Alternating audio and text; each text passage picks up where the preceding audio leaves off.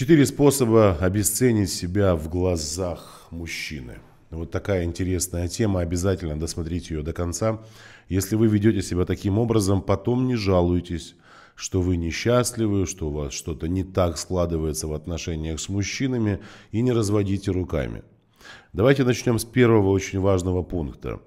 А, самый лучший способ обесценить себя в глазах мужчины – продемонстрировать ему отсутствие границ личного пространства. А границы личного пространства могут быть совершенно разными. Это эмоционально-психологические границы. Когда, например, в отношениях с мужчиной вы позволяете ему обесценивать ваши чувства, эмоции, когда вы позволяете манипулировать собой, делаете вид, что ничего не происходит, когда мужчина а, проявляет себя эмоционально нестабильно, заставляет вас оказываться в эмоциональных качелях, то приближает вас ближе, то дистанцирует и так далее. Или, например, вы находитесь рядом с мужчиной, который постоянно нарушает ваши интеллектуальные границы, обесценивает ваши знания, мысли, мнения, поступки, действия, но вы продолжаете быть с этим мужчиной. Обесценка уже началась. А дальше мы можем добавить сюда обесценивание через нарушение физических границ, экономические границы, сексуальные границы. То есть, в принципе, границы личного пространства женщины – это залог ее счастливой жизни. Это фундамент, это основа, без которой никто из вас не сможет стать счастливым. Я, знаете, очень часто говорю про э, границы личного пространства. У меня даже на программе, я такая одна удобная или уникальная, есть отдельный вебинар – посвященные границам личного пространства, как они формируются, как отстаиваются, как женщине научиться управлять границами личного пространства, каких видов они бывают, как нарушаются, почему вы притягиваете к себе мужчин, которые постоянно нарушают ваши границы. Если вам это интересно и вы хотите изменить свою жизнь, под этим видео ссылка, переходите по ней и из любой точки мира бесплатно принимайте участие. Так вот, я, знаете, в своей практике очень часто встречаю людей, женщин, которые живут без границ личного пространства. И это настолько явно выражено, что э, женщина дает возможность самоопределяться мужчине в деструктивном поведении рядом с ней. Это катастрофа. Это то же самое, что у вас постоянно открыта входная дверь в вашу квартиру. И абсолютно любой человек может туда пройти. Это то же самое, что вы оставляете свои вещи без присмотра. Это то же самое, что вы ходите обнаженной по улице. Вот в принципе невозможно определить какую-то ценность личностную в глазах мужчины, если границ личного пространства у вас просто нет. Следующий очень важный момент, связанный с обесцениванием, это второй пункт. Это, конечно же, показать своему мужчине отсутствие собственных ценностей. Что такое ценности для человека? Вот я могу сказать про свои ценности. А, безусловно, у меня есть ценности, связанные с моим окружением. То есть для меня важно, чтобы вокруг меня были люди, которые разделяют мои взгляды на жизнь, для которых важна семья, достижение целей, бизнес, развитие, взаимопомощь, выручка, а, сострадание, милосердие, порядочность, ответственность. И ты окружаешь себя такими людьми. Вот у каждой женщины этот список ценностей должен быть проявлен. Напишите в комментариях, какие ценности есть у вас и соответствует ли ваш мужчина тем ценностям, которые вы себе сформировали. Почему это важно? Потому что когда вы обнаруживаете, что мужчина, находящийся рядом с вами, это абсолютная противоположность вашим ценностям. Например, одной из ваших ценностей является желание быть в отношениях с мужчиной, который умеет сдерживать слово. То есть он дает слово и сдерживает его. Но при этом вы обнаруживаете, что вас, ваш мужчина это абсолютный балабол, безответственный, который дает слово и никогда его не сдерживает. Он отменяет встречи с вами, он переносит планы, он не дает никакой определенности в ваших отношениях, в развитии. И вы обнаруживаете, что рядом с таким человеком просто-напросто небезопасно находиться. Но вы продолжаете находиться с ним. Это самое настоящее собственноручное обесценивание женщины. То есть вы даете повод мужчине относиться к вам так. С вами так можно. С вами нельзя по-другому. Вы мечтаете о мужчине, который будет вам верным, преданным, но при этом обнаруживаете, что он постоянно взаимодействует с другими женщинами, общается с ними и флиртует. Ну а ваша ценность, чтобы ваш мужчина был не таким, вы продолжаете с ним быть. Так вот, как только мужчина почувствует, что у вас нет никаких ценностей в жизни, что вы обезличены, он начнет вашу собственную обесценку. Он будет это делать планомерно до тех пор, пока вы не скатитесь на самое дно своего существования. Пока вы не взвоите и не будете кричать, что мне делать, помогите. Почему мне так не везет, почему у меня э, так много проблем в отношениях. Третий способ обесценить себя в глазах мужчины – это закрывать глаза на его недостойное поведение. И это вообще одна из самых любимых привычек женщины. То есть вы в прямом смысле слова обнаруживаете в своем мужчине недостойное поведение, которое вам причиняет боль, и продолжаете с этим мужчиной спать, ухаживать за ним, заботиться, хранить ему верность и так далее, так далее. А что относится к недостойному поведению? Ну, например, как я уже и сказал, Мужчина может сидеть на сайтах знакомств, переписываться с другими женщинами. У него может быть любовница, он может вас бить, он может не зарабатывать деньги, он может быть тунеядцем, он может быть безответственным, он может быть каким угодно. Это все относится алкоголикам, там, наркоманам к безответственному отношению, к недостойному поведению мужчины. И когда вы продолжаете контакт с таким мужчиной, вы обесцениваете себя – а, а самое интересное, что такие женщины очень часто а, задаются вопросом, как мне изменить этого человека. Это самый ужасный вопрос, который может задать такая женщина. Вы не думаете над тем, как мне обрести значимость своей личности, как мне сформировать в себе ценности, как мне научиться быть психологически зрелой и не быть в отношениях с мужчинами, где мне плохо, где я страдаю. И это самое распространенное желание женщин, которые хотят изменить кого-то, чтобы на основании изменений в другом человеке поменяться под, э, поменять его отношение к себе. Нет, такого не будет. А если мужчина сделал что-то недостойное, а потом извиняется и сожалеет, что сделал это? Нет, подожди. Одно дело, когда мужчина сделал какой-то, совершил какой-то недостойный поступок, и он понял, что он причиняет этим самым боль. А, а как он это понял? Женщина ему озвучивает, что мне больно, мне неприятно, со мной так нельзя, я с этим не буду соглашаться и мириться. Вплоть до того, что она где-то даже директивно говорит, что если это еще раз повторится, я буду вынуждена прекратить наши отношения, я, с, я не смогу с тобой быть. Это неприемлемо для меня. Возможно, это приемлемо было для тебя в других отношениях, но со мной так нельзя. Это говорит о чем? О том, что у женщины есть границы личного пространства. Она очень хорошо их чувствует. У нее есть ценности, о которых мы уже говорили сегодня. Она, ориентируясь на это, высказывает свое мнение. Если этот мужчина адекватен, он никогда не будет повторять таких действий. Потому что он пришел в отношения не для того, чтобы самоутверждаться, а для того, чтобы быть в полноправных отношениях, быть любящим, любимым мужчиной, заботливым, получать заботу от женщины.